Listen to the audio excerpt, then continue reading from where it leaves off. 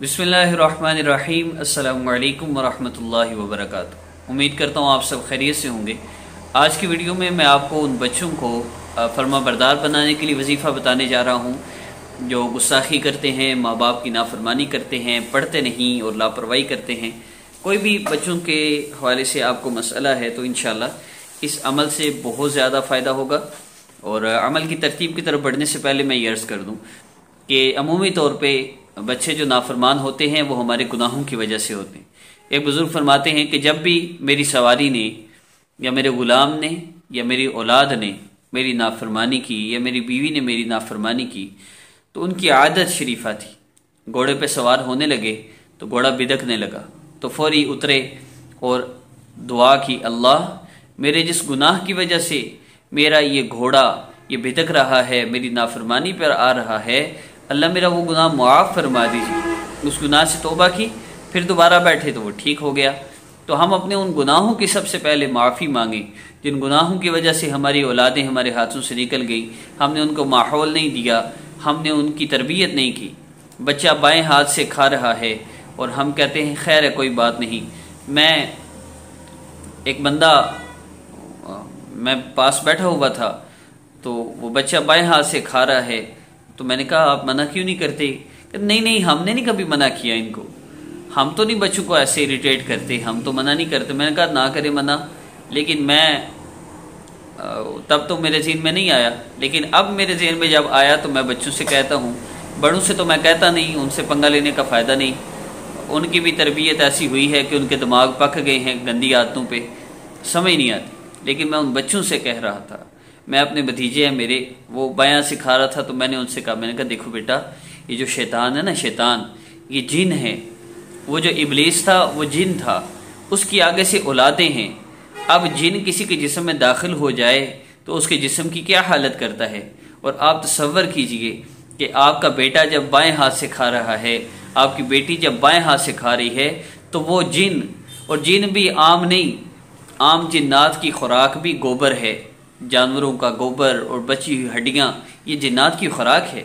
आम जिन्नात की भी हालत है, लेकिन जो जिन्नात शैतान की औलाद में से हैं और जिनकी पैदाइश भी महरम नामहरम की पाबंदी के बगैर है तो आपस में जिना कर कर के जो औलादें शैतान की पैदा हो रही हैं, अहादीस मुबारक का मैं मफहूम अर्ज़ करूँ, आप तस्वर कीजिए, वो इंतहाई गंदा और गलीज जिन, उसका हाथ आपके बच्चे के मुँह में जा रहा है।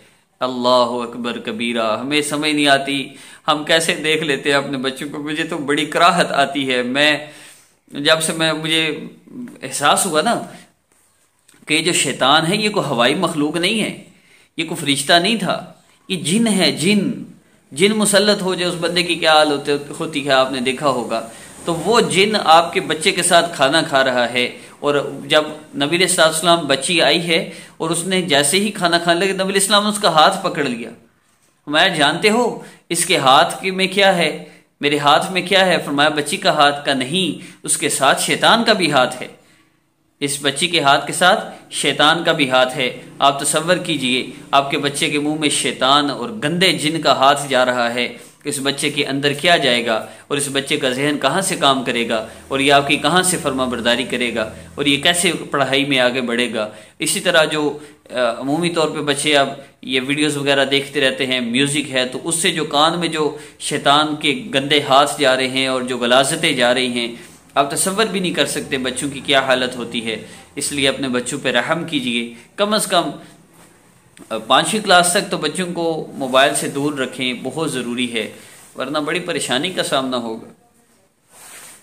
दूसरी बात, अमल की तरतीब की तरफ़ तो उसमें आपने तीन मरतबा दरूद पाक पढ़ना है, उसके बाद एक मरतबा आयतल कुर्सी पढ़नी। आयतल कुर्सी के बारे में आता है कि शैतान ने यह इकरार किया है कि जो शख्स आयतल कुर्सी पढ़ता है, मैं उसके पास नहीं जाता। इसलिए आपने आयतल कुर्सी पढ़ के फिर आखिर में तीन मरतबा दरुद पाक पढ़ के बच्चे को पानी पे दम करके पिला देना है, या फूंक मार देनी है। इनशाला शैतान भी पास नहीं जाएगा और बच्चे की बुरी आदत भी ख़त्म होती जाएँगी। बहुत फ़ायदा होगा इस अमल से आपको। इसको ज़रूर फॉलो कीजिएगा और कम अज़ कम जो मैंने अर्ज़ किया ना, इस गंदगी से अपने बच्चों को बचाइए। दाएँ हाथ से खाना खिलाइए, दाएँ हाथ से जूता दाएँ तरफ़ से जूता पहनाना शुरू कीजिए, दाएँ तरफ़ से बाजू पहनाएँ, बैग भी पहना है तो दाएँ तरफ़ से शुरू करें। हर काम को दाएँ तरफ़ से शुरू करवाएँ। आपको भी फ़ायदा होगा आपकी औलादों को। और इतना मम्मी डैडी बनने की ज़रूरत कोई नहीं है। हम अपने बेटे को मना नहीं करते। बड़ा होगा, समझ आएगा। बड़ा होके आपकी थोड़ी सुनेगा। बड़ा होगा तो समझा लेंगे। बड़ा होके तो वो अपनी मर्ज़ी करे। तबीयत बनाए आमाल की। अल्लाह रबुल्ज़त की रज़ा वाले आमाल की। और अमल की इजाज़त के लिए चैनल को सब्सक्राइब करें या ना करें, आपकी मर्ज़ी है। इजाज़त का मकसद सिर्फ़ आपका अपने चैनल से ताल्लुक़ जोड़ना है, क्योंकि यहाँ हर मसला के हल के लिए वज़ायफ अपलोड होते हैं। असलकम वरहमल